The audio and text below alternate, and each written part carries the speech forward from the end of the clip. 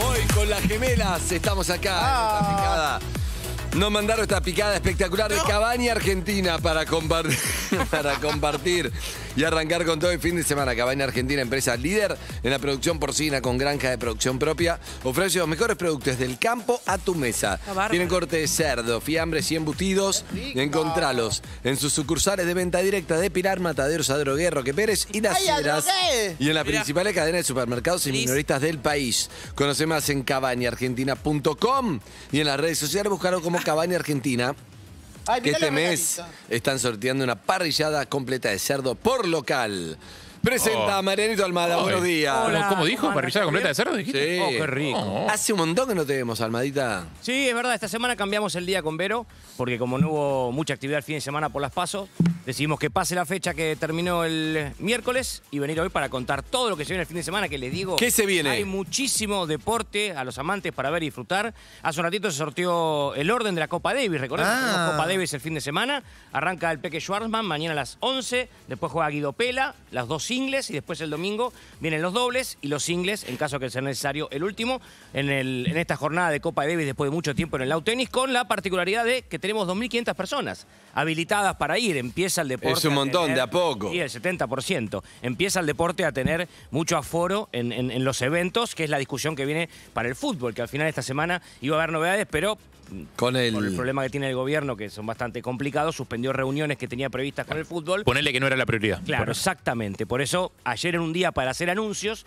de cuándo iba a volver el la gente a los partidos de fútbol de acá en Argentina y se suspendió porque no se hizo la reunión. Se especula que va a ser el fin de semana del 3 de octubre con la fecha 14, cuando juegan no hay más ni menos que River y Boca. Claro, Lamens y Bisotti, que serían como los que están ahí encargados del tema, no renunciaron. No, ellos no, No renunciaron. presentaron ninguna la renuncia reunión ahí. iba a ser con ellos dos y con la gente de seguridad ayer por la mañana con la gente del fútbol para definir cuándo volvía, cuál iba a ser el aforo, porque hay una, hay una disputa. El gobierno había anunciado, ¿se acuerdan? Al igual que el partido argentino, un 30%, el fútbol quiere un, un 50%. No quiere un 30, quiere un 50. ¿Por qué un 50?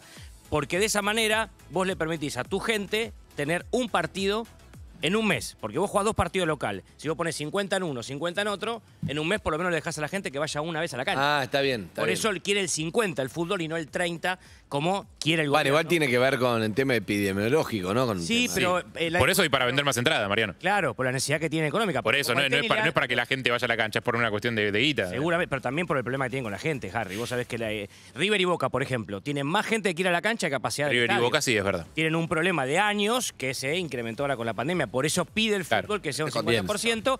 Y si el tenis le habilitan un 70%, Claro, está bien. Entonces, ¿por qué no? Marianito, eh, ¿cuándo juega el PSG? Que es mi, mi nueva pasión. el domingo a las 15.45. encanta. ¿Sos hincha ahora? Es divino. Sí. Y sí, no, antes era hincha de Messi. Barcelona y ahora soy de Claro, PSG, como la claro. mayoría de los argentinos, querido. Uno simplemente exactamente. pele 5 mililitros. Era una de las recomendaciones que tenía para hacerles el fin de semana. La Copa Davis, el fútbol local. Tenemos mucho fútbol el fin de semana, grandes partidos. Por ejemplo, Talleres, el puntero con Racing, mañana a las 18. El otro Talleres. puntero, Lanús, juega el lunes Talleres. con Newell's. Y. River Arsenal, que es River es el tercero, juegan el sábado. Messi yo- juega 15.45 el, El domingo. domingo. de local, ¿eh? Primer partido Ay, lo amo. eh, en el Parque de los Príncipes. Ya lo mataron la prensa para va a un partido, no es así, no es que pongo tres cracks y ya juegan de memoria increíble. Tres personas no jugaron nunca. Claro. Igual te digo una cosa, es la gran tarea que tiene el técnico Poquetino, el argentino, ¿eh? encontrar que Y las sí. tres figuras puedan tener un buen rendimiento, que el otro día no se vio en el partido frente al Brujas. Bueno, pero si el primer partido, no es que das una charla, Claro. chicos, jueguen bien, encuéntrense. Y él lo había anunciado, ¿te acordás? El día que Messi juega en, de- en el primer partido, juega 20 Pero la presión que tenés también tenés a Neymar, Mbappé y Messi y no Tiene sé, que hermano, que hagan gol y jueguen. Más recomendaciones para que los amantes del deporte. Hoy, Hoy. los que les Hoy. gusta el fútbol Today. femenino, chicas. Sí. Juega la selección con. Brasil, el clásico. ¿eh? Hoy juega la selección argentina de fútbol, lo pueden ver por Deporte TV a partir de las 4 de la tarde frente a. Brasil de visitante. Antes a las 2, la selección argentina de futsal, campeona del mundo. Porque recordemos que tenemos una selección de futsal campeona del mundo.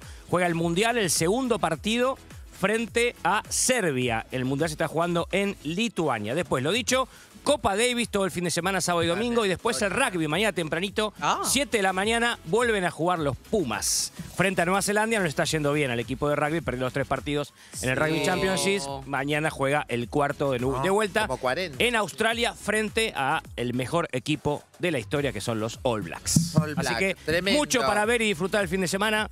Que va a ser hermoso además. Gracias, Qué Almadita. rica la picada, ¿eh? No me voy, me la voy a quedar comiendo. Te quiero contar algo. La crema Dr. Selvi te ayuda a solucionar todos los problemas cotidianos de la piel. Su eficacia comprobada ha sido recomendada de generación en generación para el cuidado de paspaduras, irritaciones, raspones, quemaduras, dermatitis y otras, otras afecciones cutáneas. Dr. Selvi ayudándote a cuidar a los que más amás. Doctor Selvi, siempre con vos. ¿No ves? Nos escuchás. UrbanaPlayFM.com Somos radio.